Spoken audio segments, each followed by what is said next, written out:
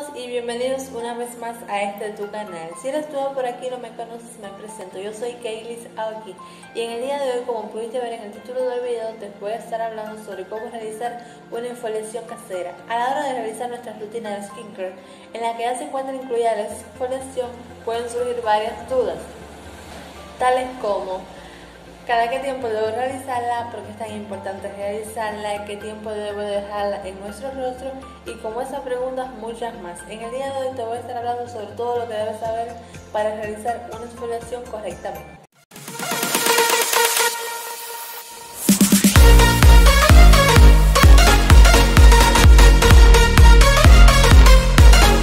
No sé si se habrán dado cuenta, pero estoy grabando de noche porque yo siempre para grabar mis videos me levanto 4 de la mañana, 5 para empezar a grabar. Pero últimamente no puedo grabar a esa hora porque cada vez que me levanto es un ruido terrible que no me deja grabar. Cuando es un carro, es un si un gallo, un perro, algo que no me deja grabar por el ruido. Y cada vez que pasa algo por la calle tengo que parar el video y volver a grabar. Hoy me molesté súper Tuve que apagar el teléfono y a dormir otra vez. Hasta hoy que pude grabar, ahora por la noche son aproximadamente las 11 y estoy grabando. Y no les voy a negar que tengo sueño, pero voy a grabar por ustedes. Bueno, primero que nada, ¿por qué me motivé a hacer el video acerca de la exfoliación? Uno de los principales motivos por el que me motivé a hacerlo fue porque personas me preguntaban, ¿me puedes ayudar? Decirme por qué se me oscurece la piel donde me afeito, se me oscurece la piel, se me irrita entonces le expliqué que era la y muchas personas me preguntaron que no sabían qué eran eso. Entonces les dije, motiva eso, voy a hacer un video, ya que me han preguntado tanto. Voy a hacer un video en el que voy a explicar. Les voy a decir algo. A mí también antes me pasaba esto, se me irritaba la piel, se me oscurecía hasta que empecé a exfoliar la piel antes de depilarme, porque al exfoliarte la piel lo que estás haciendo es eliminando restos, células muertas, impurezas que tienes en la piel. O sea, que si te rasuras con la piel sucia, solamente lavarla con jabón y no exfoliarla, se te irrita igual. Los beneficios de realizar una exfoliación casera son múltiples y diversos, ya que a la hora de realizar la exfoliación, tu piel estará mejorando su textura y le estará aportando luminosidad. Tres exfoliantes caseros que vamos a usar pueden ser la miel, el café o el tomate. ¿Por qué? Exfoliante facial con miel. La miel es uno de los mejores tratamientos naturales para la piel.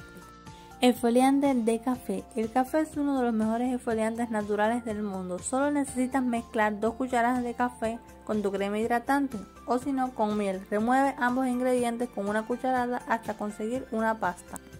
El tomate tiene variados efectos sobre la piel, hidratante, tensor y exfoliante. Si deseas que esos molestos granitos y puntos negros desaparezcan, debes de aplicar un tomate sobre tu rostro. ¿Cómo usar un exfoliante facial? Lo que vamos a hacer es cada vez que vamos a aplicar el exfoliante, antes de eso debemos de desmaquillar nuestro rostro o lavarlas con jabón. Recuerden siempre que cada vez que vayas a realizar nuestra rutina de skincare o cualquier tratamiento que vayas a aplicar en tu rostro, no solamente el exfoliante, debes hacerlo con el rostro húmedo. Una vez que estés desmaquillado con tu rostro limpio y húmedo, vamos a aplicar entonces el exfoliante. Lo primero que vamos a hacer para aplicar el exfoliante en nuestro rostro es coger una pequeña cantidad con la yema de nuestros dedos y empezar a aplicarla sobre el rostro. Lo segundo que vamos a hacer cuando estemos aplicando el tratamiento con la yema de los dedos es realizar suaves masajes, o sea, masajes circulares sin apretar mucho para que no maltrates tu piel. Como paso número 3 vamos a estar retirando el exfoliante con agua fría siempre, siempre desde abajo hacia arriba, con suaves masajes. Nunca retires el exfoliante con agua caliente o agua tibia, ya que en la elevada temperatura del agua caliente evitará que los poros dilatados se cierren. ¿Cada qué tiempo debe realizarse la exfoliación? Esta es una de las muchas preguntas que me han hecho acerca de la exfoliación. Bueno, la exfoliación es muy sencillo paso y necesario para nuestra piel. La exfoliación debe realizarse una o dos veces por semana. Errores habituales al realizar nuestra exfoliación. Uno de los errores más comunes que suelen hacer las personas al realizar la rutina de exfoliación es presionar el exfoliante sobre la piel y es una de las peores cosas que se deben de hacer, te lo digo por experiencia propia. A mí me pasó a principio de empezar, cuando yo empecé a exfoliarme la piel, siempre traía rayones en la cara, que todo el mundo me preguntaba por qué, incluso yo no sabía por qué, hasta que me di cuenta. El exfoliante debe aplicarse con suaves masajes en el rostro, no presionarlo nunca. Número 2. No apliques el exfoliante en el contorno de los ojos. ¿Por qué? Mientras más cerca del ojo este, depende del exfoliante que te apliques en el rostro, se te puede irritar no solo la piel, sino empezar a lagrimear los ojos, o sea, que te está haciendo otra reacción.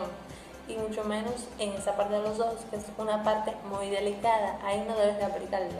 No te obsesiones con la exfoliación porque respeta siempre la frecuencia con la que debes realizarlo.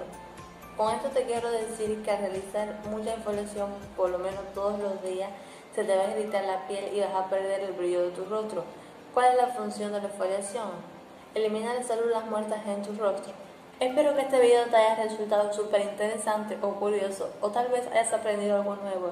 Y si es así, no olvides suscribirte al canal y activar la campanita de notificaciones para que YouTube te avise cuando tenga video nuevo. No olvides seguirme en todas mis redes sociales para que no te pierdas ninguna de mis publicaciones. Entonces, si es así, si te gustó, no olvides compartirlo con personas que creas que le pueden interesar. Y si quieres ver más videos como este o estás interesado en alguno en específico, déjame en los comentarios. Nos vemos en un próximo video.